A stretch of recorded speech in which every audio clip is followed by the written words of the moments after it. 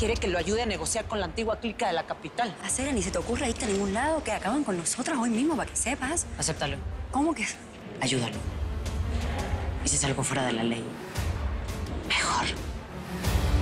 Pero tú me puedes ayudar a que la gente crea que realmente aquí vivió por muchos años el tilapia.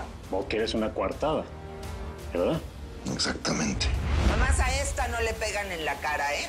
Porque no quiero broncas con el profe. No más.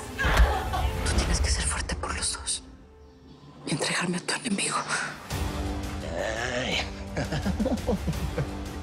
¿Qué ch... están haciendo aquí, parejita?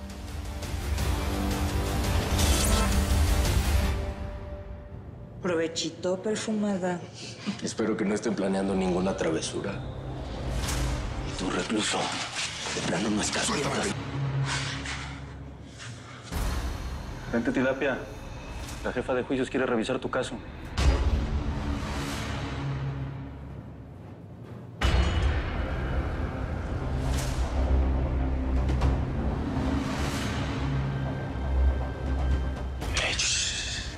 Sigo esperando a que me des las gracias por salvarte la vida, perrita.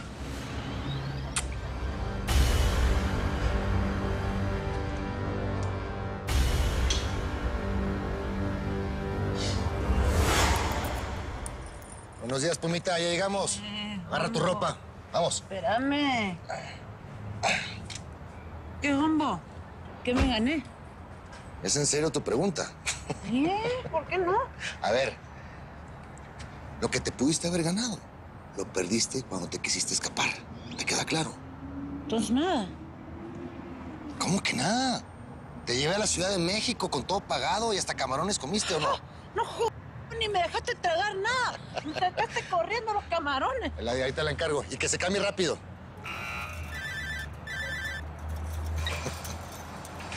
¿Qué pasó, Borges? Sí, sí, ya estoy aquí. Ahora entro. ¡Puerta! Muy bien. Aquí está el recluso Tapia, licenciada. Gracias, Rafa. Licenciada. Teniente. Capitán. Entonces, Borges, ¿cómo van las cosas? Bien y mal. Tenemos problemas. Tenemos dos. ¿Y ahora qué hiciste? Yo nada. La que está en problemas es Roxana. Zoraida la amenazó de muerte. Y ahora ella se quiere acostar con guillotina para que la proteja. Y eso no lo voy a permitir. Perdón, pero no hay nada que podamos hacer. Es la verdad. ¿Cómo que no pueden hacer nada? Tranquilo. ¿Y si la denuncia? Si la denuncia, firma su sentencia de muerte. ¿Qué? ¿La Puki la denunció cuando le dio esa golpiza? Ninguno de los que estamos aquí queremos que le pase algo a Roxana. Pero ni tú ni Borges pueden hacer nada al respecto ni protegerla. Sería evidenciarse. Por ahora, Guillotina es quien la va a cuidar. Él es el que tiene el poder aquí adentro. Y si ella se tiene que acostar con él, ni modo. Así es la ley de la selva. ¿Le queda claro? ¿O a poco los celos ya lo marearon?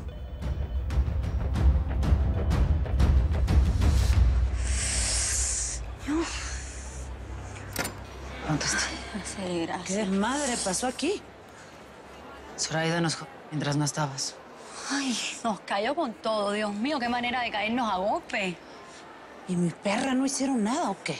Tus perras se batieron como unas leonas, pero las de Zoraida eran un burujón, mijita. Zoraida quería asustarnos. Asustarnos no. Chicas, si estoy molida. Entonces, ¿qué vamos a hacer para defendernos, eh? Pues por lo pronto esto lo voy a arreglar yo sola. ¿Qué? Y hoy mismo. Ay, Dios mío.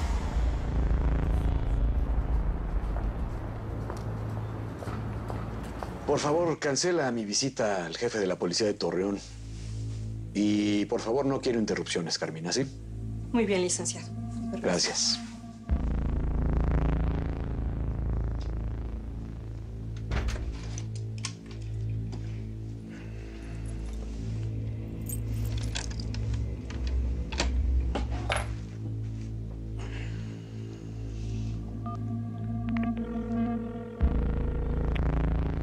Señor, ¿Cómo te fue con mi encargo?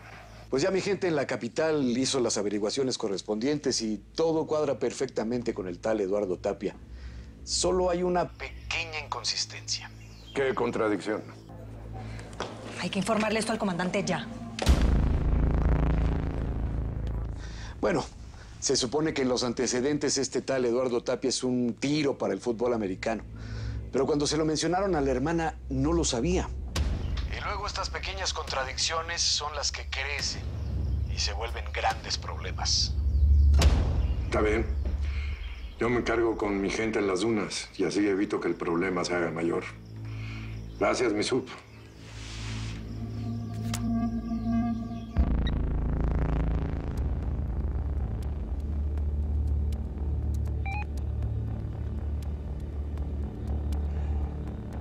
¿Sabemos con quién está hablando Príamo? No sabemos, pero pensamos que se trata de alguien pesado del cártel de Mil Cumbres.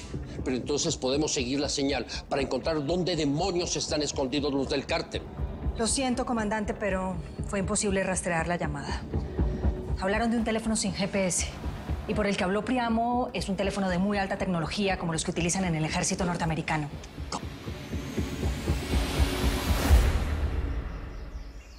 Permiso.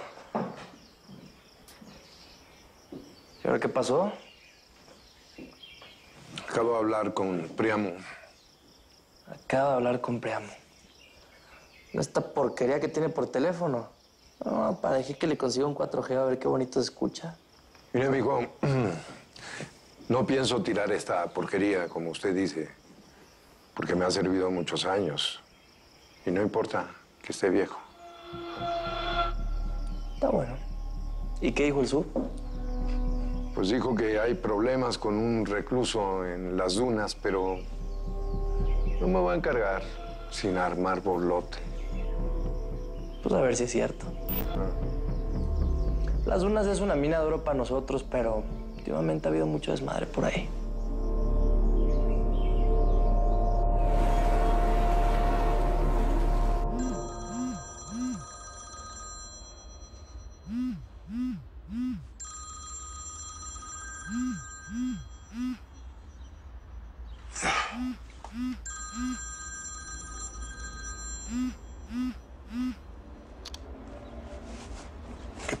Olivia? ¿Dónde estás? Ay, vine al hotel a descansar un poco. Manejé toda la noche. Pues espero que hayas descansado porque tenemos un problema grave. ¿Qué pasó? Priamo descubrió algo sobre Daniel y el fútbol americano y se lo informó a alguien que no sabemos quién es. Ay, sabía que eso iba a pasar. Salgo ahora mismo para el reclusorio.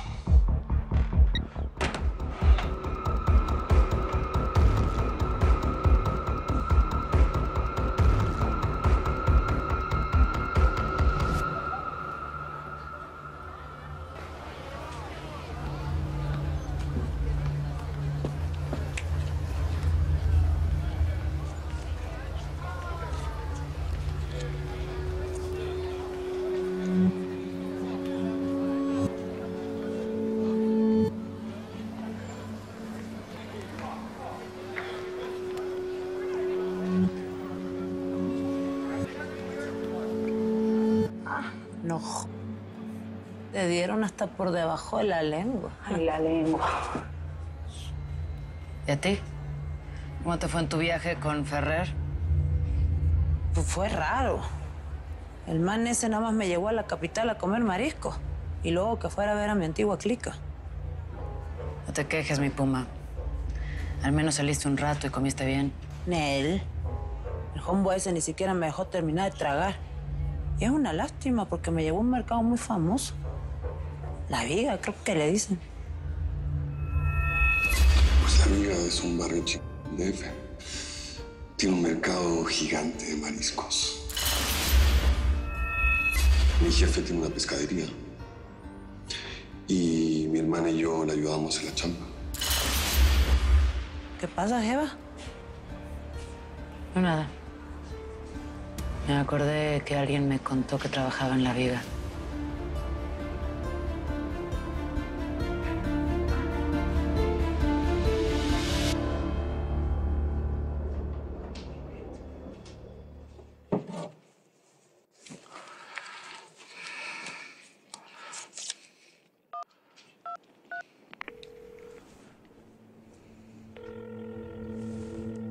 Patrón, qué bueno que me llamas, Anselmo.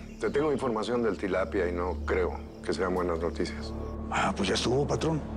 Usted no me diga qué hacemos con ese suato. Mira, se corre por ahí la información de que es un muy buen jugador de fútbol americano. Quiero que lo averigües. Y si no es verdad, ya sabes qué hacer con él. Está bueno, patrón. Como usted ordene.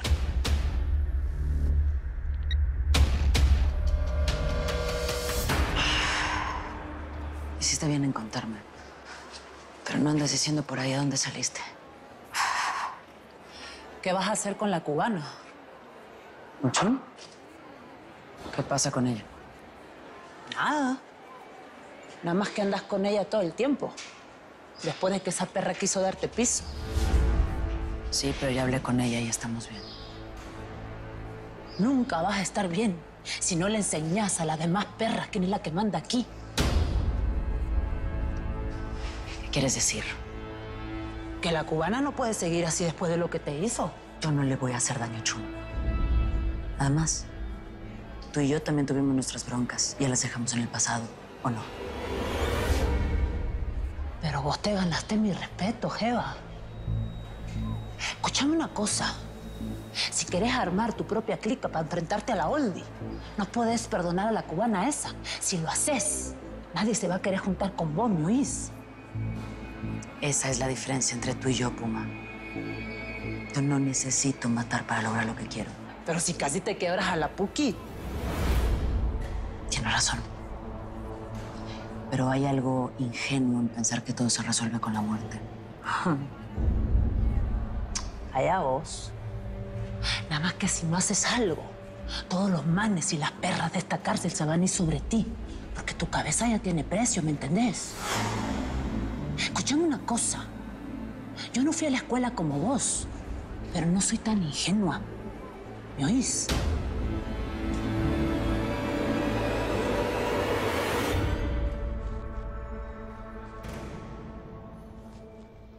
¿Dónde está el tilapia? Salió hace un momento. ¿Qué necesitas? Casi nada. Resulta que hablé con el patrón y me dijo que este cabrón es un excelente jugador de fútbol americano. Lo más curioso de esto es que nunca lo hemos visto jugar en el patio. ¿Qué con eso? ¿Cómo que qué con eso? ¿Que no te das cuenta que si escondió que juega fútbol americano, pues pudo haber escondido otras cosas? ¿Y qué piensas hacer? Pues, ¿Qué más? Darle cuello. ¿El patrón te pidió que lo hicieras pasar a mejor vida? Pues más o menos. Con otras palabras. Yo aconsejaría que mejor esperaras a ver si es tan bueno jugando fútbol americano como dice. No vaya a ser que el patrón se moleste. Ay, mendigo orejas. Está bueno. Esta es la última vez que me convences, Pero quiero que quede bien clara una cosa. El que manda afuera es el patrón. Pero el que decide aquí las cosas soy yo, ¿está bien? Madre. ¿Y si organiza un partido entre los reclusos y los custodios como el del año pasado? Sirve que así podemos ganar las apuestas. ¿Cómo ves? Mendigo colmillo. Eres una gatita muy inteligente, cap. Miau.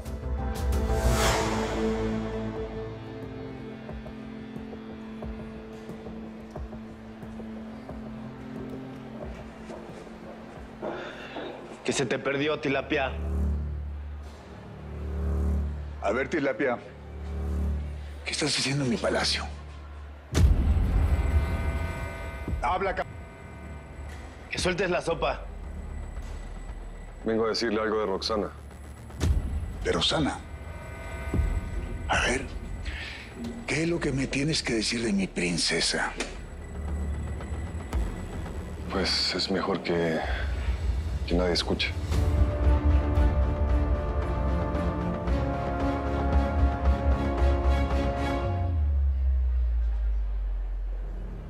Bueno, ya, suéltala. Me dijo Roxana que. que pidieron una celda conyugal esta noche para usted y ella. Eso dijo.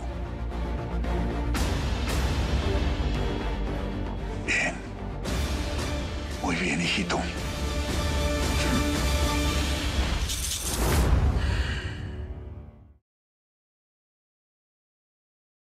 Dime por qué estoy aquí.